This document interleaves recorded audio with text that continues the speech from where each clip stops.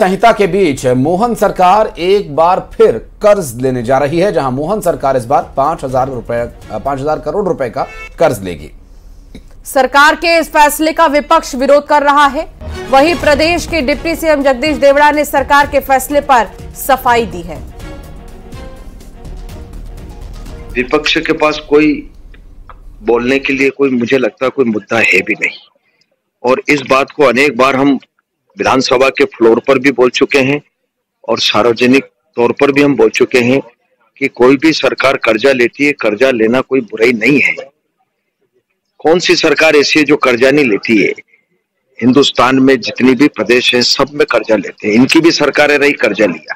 कर्जा लेकर के भारतीय जनता पार्टी की सरकार ने हमारे यशस्वी मुख्यमंत्री डॉक्टर मोहन यादव जी के नेतृत्व में या जो भी कर्जा हमने लिया होगा तो कर्जा समय पे चुकाया उसके नियम है, प्रक्रिया है उसकी, भारत सरकार से उसकी परमिशन लेना पड़ती है, एफआरबीएम का नियम बना हुआ है, उसी नियम के तहत कर्जा लेते हैं, कर्जा समय पर चुकाते हैं, ब्याज चुकाते हैं, कर्जा लेकर के डेवलपमेंट करने का काम सरकार करती है, तालाब बनाती है स्टाफ डैम बनाती है, सिंचाई योजनाएँ सड़क कॉलेज विद्यालय, ये सब डेवलपमेंट के काम करने के लिए सरकार कर्जा ले रही है सरकार कर्जा समय तक चुका रही है। लोकसभा चुनाव को लेकर घमासान जारी है। और बीजेपी कांग्रेस एक दूसरे को निशाने पर ले रहे हैं और इस दौरान न्यूज़ 18 से पूर्व मंत्री और कांग्रेस नेता चौधरी राकेश सिंह चतुर्वेदी ने बातचीत की। जहाँ उन्होंने कांग्रेस की जीत का दावा करते हुए बीजेपी सरकार पर निशाना साधा। कांग्रेस की है कांग्रेस ने श्रीमान फूल सिंह बरैया जो विधायक हैं भांडेर से। उनको टिकट दी है। फूल सिंह बरैया यहीं के रहने वाले हैं मैगांव विधानसभा क्षेत्र के। और एक जाने माने नेता हैं। तो मैं समझता हूँ, संध्या राय जो उनके सामने हैं, वो पूर्व में सांसद रह चुकी हैं और उनका कार्यकाल कोई भिंड के लिए अच्छा नहीं रहा दतिया के लिए। मैं कई बार कहता हूँ, तमाम चैनल्स पे मैंने कहा है कि चंबल एक्सप्रेस का क्या हुआ जिसको अटल बिहारी के नाम से आपने कर दिया था? सैनिक स्कूल का क्या हुआ, जो भिंड में खुलना चाहिए था? कई बार घोषणाएँ की। और वो ग्वालियर के नज़दीक जाके खुलवा लिया। नरेंद्र सिंह तोमर जी ने। मेडिकल कॉलेज का क्या हुआ, जो भिंड में खुलना चाहिए था? बहुत सी ऐसी योजनाएँ हैं। मैं फिर एक बात दोहरा दूँ कि ग्वालियर इटावा जो रोड है, हमारी जीवनदायिनी रोड है, जिस पर ट्रैफ़िक बहुत है। रोज एक्सीडेंट होते हैं। लोग चिंतित हैं, अखबार उठा के देखो तो रोज घटनाएँ मिलती हैं कि दो चार लोग मर गए। क्या सांसद को इस बात को करके ये नहीं करना चाहिए था कि इसको सिक्स लाइन डिक्लेयर कराती अपने कार्यकाल में इसका शुभारंभ कराती। चंबल का पुल जीर्ण अवस्था में है। क्या उस पर एक दूसरा पुल निर्माण कराने का शिलान्यास नहीं करा सकती थी? इसलिए मैं मानता हूँ कि उनका कार्यकाल कोई अच्छा कार्यकाल नहीं रहा है। और दुर्ग में होने जा रहे चुनाव में युवा वोटर्स अपना दम दिखाएँगे। लोकसभा क्षेत्र के करीब तिरपन हज़ार नए युवा हैं जो पहली बार अपना वोट देंगे। पहली बार अपने मतों का प्रयोग करने जा रहे हैं। और ऐसे युवाओं से न्यूज़ एटीन की टीम बातचीत करने पहुँची। क्या है उनके मुद्दे? क्या सोचते हैं वो? आइए दिखाते हैं होने जा रहे हैं और दुर्ग लोकसभा में करीब तिरपन हज़ार युवा पहली बार अपने मतों का प्रयोग करेंगे अपना वोट देंगे। आ, ये युवा खड़े हुए हैं जो लगातार यहाँ पर शहर में रहते हैं और राजनीति को देख रहे थे और अब ये वोट देने जा रहे हैं। क्या मुद्दे होंगे? इनकी सीधे इनसे बातचीत करते हैं। देखिए पहली बार आप वोट देंगे किस तरह के मुद्दे होंगे आपके? पहली बार मैं वोट दे रही हूँ और मैं चाहती हूँ कि जो जीते जो सरकार बने वो शिक्षा और स्वास्थ्य पे ज़्यादा फोकस करे और शिक्षा जो मेन है तो शिक्षा पे भी बात किया जाएगा और आ, सरकार ऐसी होनी चाहिए जो सब पर्पस पे लेके चले और सब पे बात करे। ठीक ठीक अब क्या सोचती हैं? पहली बार वोट देंगे आपके क्या मुद्दे सर मैं ये सोचती हूँ कि जैसे भी हम वोट देने जा रहे तो ये कास्ट वगैरह देख के उसे हट के ही वोट देना चाहिए। और सेकंड चीज़ की स्वास्थ्य जैसे कि इन्होंने बोला स्वास्थ्य और शिक्षा। और जैसे कि हम लोग क्या ज़्यादातर होम साइंस डिपार्टमेंट के स्टूडेंट हैं तो मैं चाहती हूँ कि जो इस फ़ील्ड से हैं अधिकतर स्कूलों में क्या है जैसे गर्ल्स कॉलेज है तो वहीं सिर्फ़ होम साइंस जो है सब्जेक्ट वो रहता है। तो ये चीज़ ज़्यादा शिक्षा पे ध्यान देनी चाहिए कि हर जो फ़ील्ड है वो हर फ़ील्ड हर स्कूल वगैरह में ये इसको लागू करना चाहिए। आप स्टूडेंट हैं स्टूडेंट होने के नाते आप क्या सोचती हैं?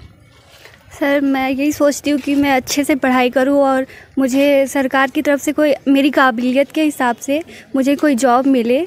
और ताकि मैं उस पर और अच्छे से आगे बढ़ सकूँ।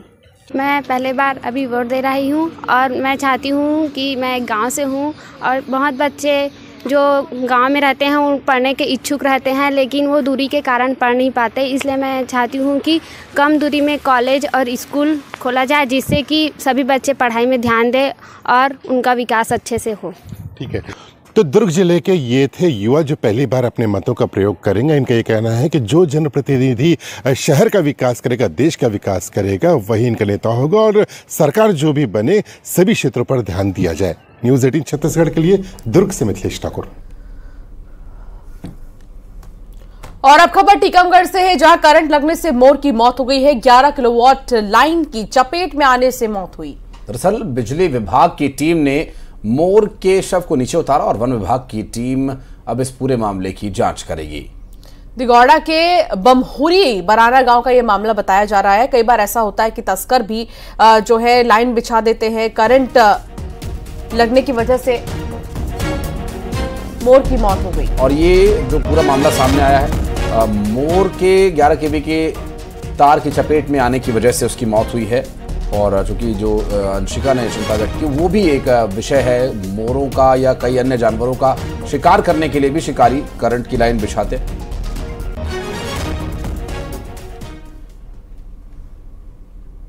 और गरियाबंद में स्कूल पर चोरों का धावा, दरअसल स्कूल में चोरी करने की एक नाकाम कोशिश का मामला सामने आया है। सीसीटीवी में चोरी की वारदात भी कैद हो गई है।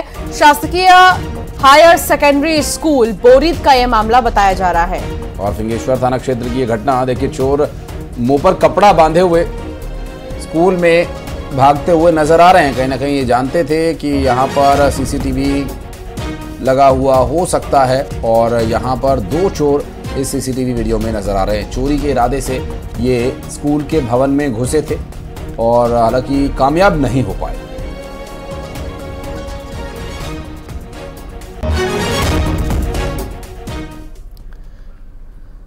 तो वहीं बलौदाबाजार में स्कूल में हंगामा देखने को मिला। असामाजिक तत्वों ने जमकर उपद्रव मचाया। और यहाँ तक कि छात्रों की उत्तर पुस्तिकाएँ भी फाड़कर फरार हो गए। क्लासरूम में लगे हुए पंखों को तोड़ डाला।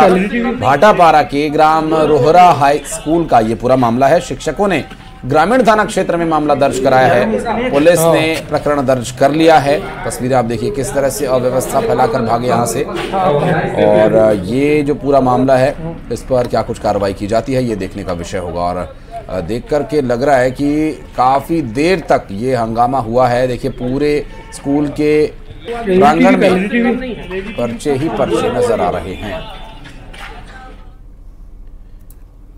और बुरहानपुर में नशे के खिलाफ पुलिस की बड़ी कार्रवाई हकनार क्षेत्र में पुलिस ने छापा मारकर लाखों के अवैध शराब को जब्त किया। महुआ लाहन से भरे टैंक को भी नष्ट किया गया है। दो आरोपियों को गिरफ़्तार किया गया है। ये तस्वीर आपको दिखा रहे हैं। महुआ लाहन, जो कि नष्ट किया गया है, और साथ ही जो दो आरोपी यहाँ पर मौजूद थे, जो बना रहे थे अवैध तरीके से शराब, उन्हें भी गिरफ़्तार किया गया है।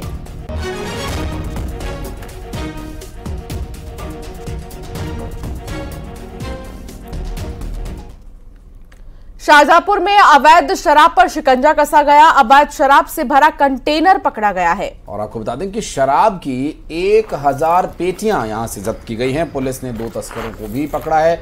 चुनाव से पहले पुलिस पूरी तरह से एक्शन में चूँकि अब मॉडल कोड ऑफ़ कंडक्ट लागू है और शराब या कोई भी अवैध तरीके से कैश या कुछ भी ऐसी चीज़ जो चुनाव को प्रभावित कर सकती है। यहाँ पुलिस प्रशासन की ज़िम्मेदारी है कि इस तरह के जो मामले हैं, उन पर नकेल कसी जा सके और एक कामयाबी यहाँ पर शाजापुर से पुलिस के हाथ।